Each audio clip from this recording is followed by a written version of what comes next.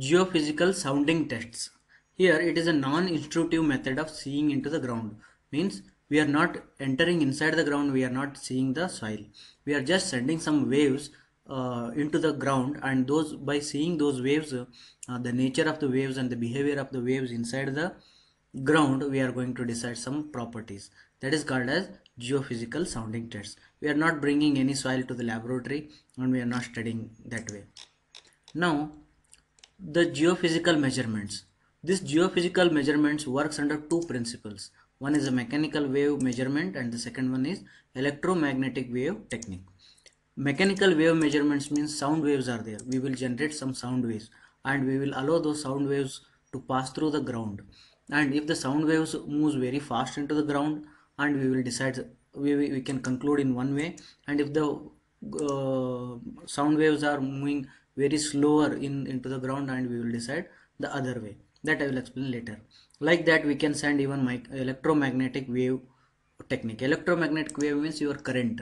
You need we need to spread the current into the ground and the uh, that how much fast the current will be spread inside the ground. Based on that we are going to decide some features. And some tests are there here. Cross hole tests downhole test and spectral analysis or surface wave tests seismic methods that is refle reflection and refraction and uh, suspension logging. These all tests are there. But for your syllabus seismic method is there. That is reflection and refraction by using electromagnetic waves we have our tests like ground penetration radar and electromagnetic conductivity surface resisti resistivity magnetometer surveys. Four tests are there. But for your syllabus we have a surface resistivity test. Okay? We'll go one by one before going to the concept that is the theoretical concept first we will watch this video and we will understand how geophysical method is done. That is seismic refraction and reflection method how it is done in the field we will understand so that it becomes very easy to uh, understand the problem theoretically. Now look at here. There is a one instrument which is kept here and along with that some cables are there here and one laptop is kept. Okay and there is a one continuous one cable is there and along with that cable he is putting the geophones. See the geophones are kept now. Like that there are many geophones are kept here along the length. Along the length many geophones are kept. Geophones means receivers. Then after that you can see here. Then here one point he will consider. It might be a middle one or otherwise at a one one end and there he will put one steel plate and with the help of hammer he will strike the ground. He will create some waves. Those waves are called as shock waves okay or mechanical waves. And those waves he will create here you can see. With the help of hammer he will strike the ground.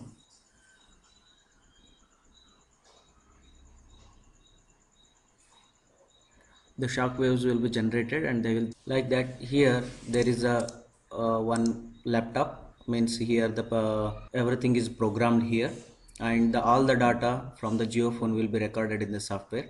And how exactly the depth of the strata and where exactly the strata is changing its properties that will be studied by analyzing the data. Okay. How exactly that I will show you in the theoretical and we'll solve one problem also so that you can understand it very easily. In that video if I summarize just you have seen one person with some hammer and he was striking the ground with the, on the plate. And there were many geophones kept in one line okay? And the distance between the geophones we need to maintain maintain the equal distance. If it is at distance d then the interval between the each geophones must be g d okay? And you should also know that what is the distance between the each geophones with respect to the striking point this striking point we will call it the source. I think this much only we have seen in the video right? But what exactly it is happening inside you don't know. That we need to understand. Before understanding just I would like to recall the definition or otherwise the meaning of the word reflection and refraction. This you, you might be studied in your basic science that is your uh, PUC or first year engineering reflection means if you consider this is a mirror this is a mirror and here one wave will come and it will hit to the mirror and mirror will reflect the wave. Okay? Means it is not traveling through the mirror glass but it is just reflected. Understood? This is called as a reflection. And refraction means if the wave is coming like this and that will be traveling to the other media. Now in this method this method is called as what? Seismic reflection and refraction method. Seismic reflection and refraction method. Okay. From this method what what we are going to find is we are going to find the depth of the strata. At what depth the strata is changing its property that we are going to find.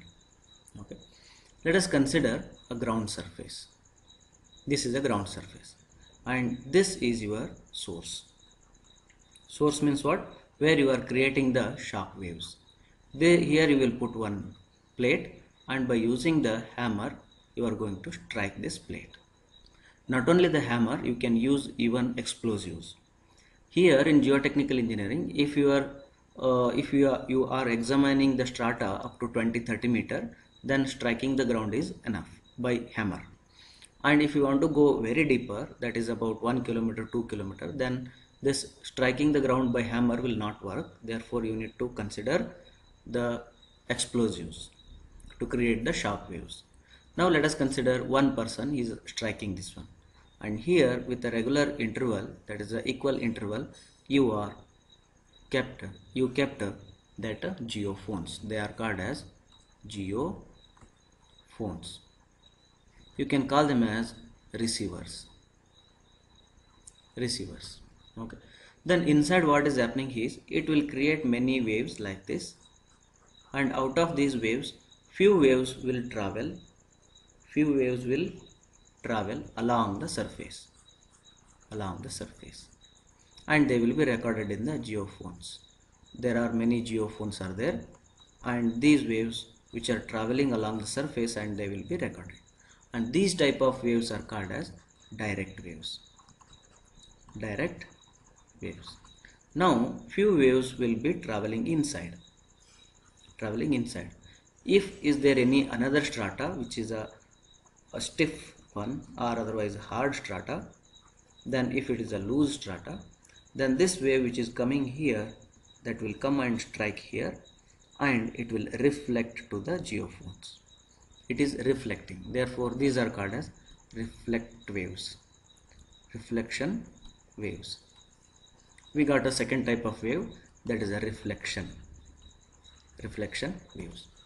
And few other waves which may travel like this and uh, after getting the another strata they will refract and they will travel inside these waves are called as refraction waves. We got a third type of wave that is a refraction waves. Okay?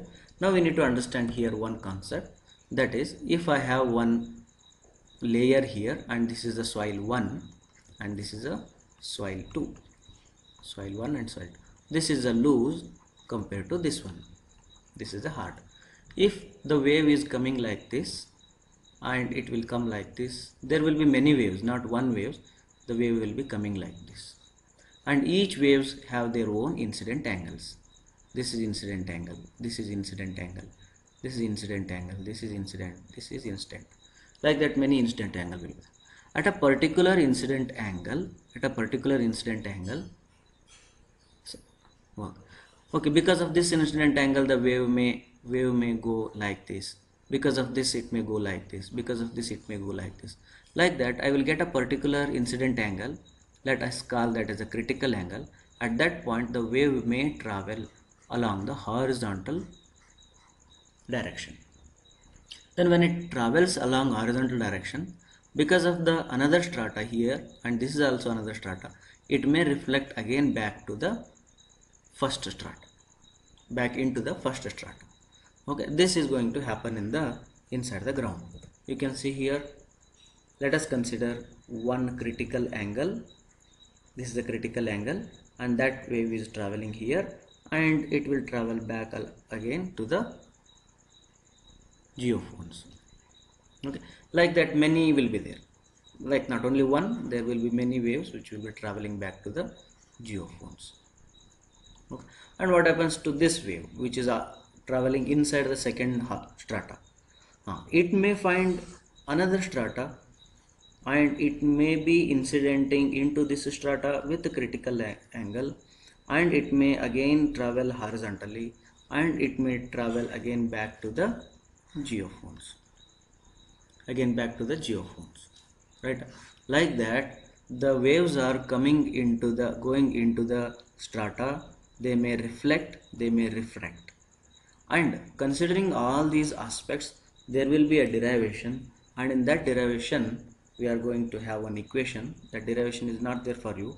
That equation is got as h1 is equal to dc divided by 2 square root of v2 minus v1 divided by v2 plus v1 if you want the second strata that is your dc2 divided by 2 into square root of v2 minus v3 minus v2 divided by v3 plus v2 like that you can have the height. Then what is this h1 h1 is depth of the first strata. And h2 is the depth of the second strata. Like that you can get uh, where exactly the soil is changing its properties. Understood? Okay. we will solve one problem so that you can understand it very clearly the data we will get it in this way. We will get one table that is the distance from geophones. Distance from geophone to the source. Okay. This distance we will be knowing. That is your uh, uh, the, if it is the source and this is the first geophone this is your L1 second geophone L2 third geophone L3 like that okay. Let us consider that is your distance will be measured in meter and we will be having many distances. Then after that we will observing the time here. The first geophone will tell that what is the time of receiving the wave that we will get the time. Usually the this time will be in milliseconds and those corresponding time will be recorded in the geophones. Okay now? then after that we will draw one graph. We will draw one graph. In this graph we will consider this is the distance that whatever that is given here that we will be marking with some scale and those points. And after that this is the time. This time will be considered in the y-axis. Time in milliseconds. Okay we will get uh, points here and after that we need to join them with a straight line. Let us consider this might be a straight line. And at a particular point we will get these two lines are intersected and that particular distance we will call it as a DC that is a critical depth. Okay na? then after this critical depth we will calculate the h1 okay. h1 equal to dc by 2 square root of v1 plus v1 minus v2 divided by v1 plus v2 then what is this v1 and v2 that you can see here distance by time is a oh, velocity. Then this is a distance and this is a time therefore it is a 1 by v1 the slope of this one is 1 by v1 and the slope of this one is 1 by v2 that I will show you in the problem. Let us consider this is the problem. Now we need to calculate the uh, first strata depth. First strata depth we need to calculate. Okay. Now these are the readings given. What you need to do in the examination is this will be given in the question paper and by using this one you need to draw a graph. Let us consider this is a graph drawn by using those data. And no need to join this one with a smooth line. We need to join them with a straight line. Okay? We will join the straight line. Let us consider this goes like this. And we have another straight line. We can have like this. Okay? Then here we got a particular point. This point I will take it okay. It might be DC equal to uh, if this is at 30 and this will be 25 meter. 25 meter. Means one data I got DC equal to 25 meter. Then I need to get the slope of this one. That slope means here this point I will consider or otherwise you can consider this this point only we'll consider. And this distance this one is a time and corresponding to that is your distance. Now we can see here what is this uh, first one second third third reading and fourth reading right? I will go back to the this one. And there is a third reading and uh, the fourth reading. Third reading and fourth reading. Here i will get uh, v1 equal to distance is 20 minus 10 20 minus 10 divided by and this time is 49 minus 26 this is in milliseconds therefore I will write it into 10 raised to minus 3 seconds okay? This is in meter. Now I will get the answer 434.78 meter per second. Then like that v2 i need to calculate. Go to the diagram. Here i will consider this and this one okay? This is which reading? This is the third fourth fifth sixth reading and seventh eighth reading right then come back here. One two three four five sixth reading and eighth reading. Sixth reading is that 100 minus 60 that is the distance and 83 minus 71 83 minus 71 then I will get the velocity. This is in milliseconds therefore 10 raised to minus 3 answer is 3333.33 meter per second. Now I will calculate the distance. That is h1 is equal to dc by 2 square root of v1 minus v2 divided by v1 plus v2 dc is 25 25 divided by 2 square root of 434.78 434.78 minus sorry v2 minus v1 it is. Therefore 33333.33 minus 434.78 divided by 33333.33 minus plus 434.78 okay then I will get the answer you are getting 10.96 meter that is the first strata is 10.96 meter from the ground surface how interesting right? Thank you. This much is enough for this class. And later we'll go to the another methods. Now we are discussing about electrical resistivity method. Electrical resistivity method. Okay. for the detailed information of electrical resistivity method one of our uh, lecturer uh, professor priyanka madam.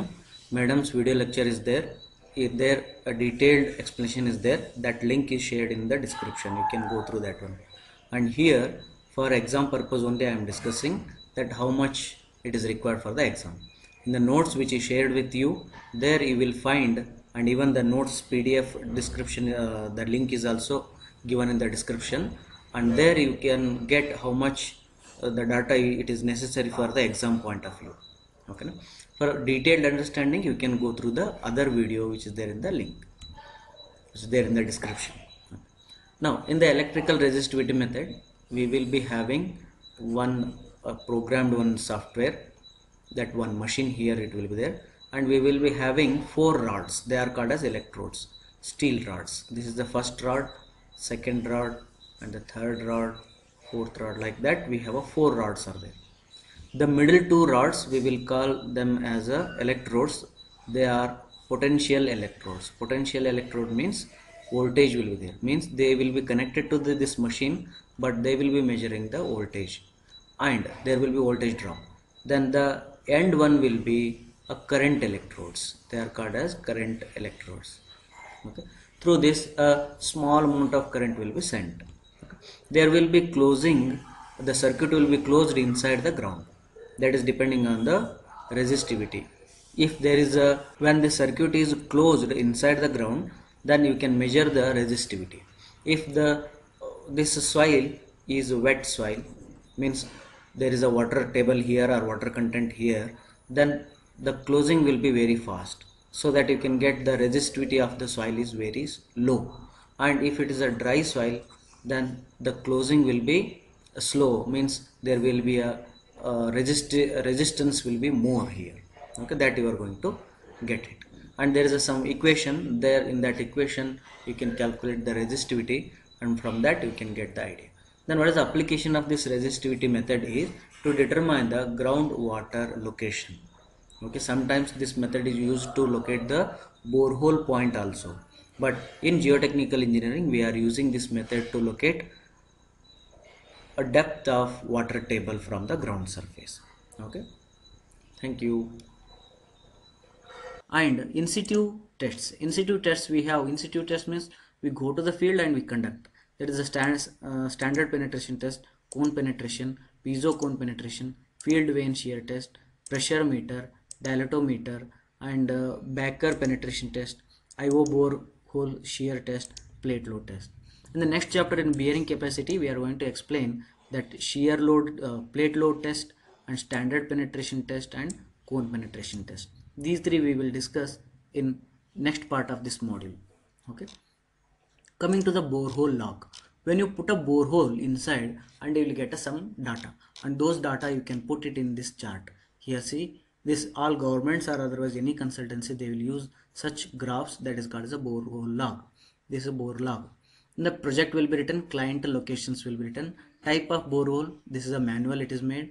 And borehole diameter is at 150 mm groundwater level it is not observed. Date of commencement and date of completion. This is called as a legend. Legend means these hatched areas indicates that the different soil strata and their changes. Here you can see from this end to this end only one type of soil is there. And here different soil and different soil and here different soil here you can name that soil as a brownish sandy soil and yellowish sandy soil. Both are sandy soil therefore one hatch is given. And weathered rock it is here. And soft disintegrated rock is here. And borehole terminated, terminated. And as they said that this is the manually made. Here it is manually made. Therefore the depth is not that uh, too much. This is only 6 meter they have included here. And here you can have number of columns here here they have made types of sample spt n values and description it is made like that you can increase increase number of columns here saying uh, c value phi value density SPT, liquid limit, plastic limit like that you can increase number of columns based on your requirement. This is all this is all about borehole log. Then soil exploration report as you all know, know that to make any report you should have some uh, standard features for example general or introduction uh, literature review and uh, uh conclusion references. These are minimum requirement for technical paper. Like that a soil exploration report should con consist these all points in it. Okay? That is the scope of investigation why you did this one. General description of proposed structure okay? And exploration has been conducted. Geological condition of the site drainage facilities at the site details of boring description of subsoil conditions okay subsoil. Below soil is there that descriptions you need to write and which are sample uh, techniques you use to collect that, that one. These all things you are going to include it. The following graphical uh, graphic presentations also need to be attached to the soil exploration report. Site location plan uh, map and location of boring with respect to the proposed structure and boring logs laboratory test results and other special presentations. These all things you need to include into the soil exploration report. This is all about soil exploration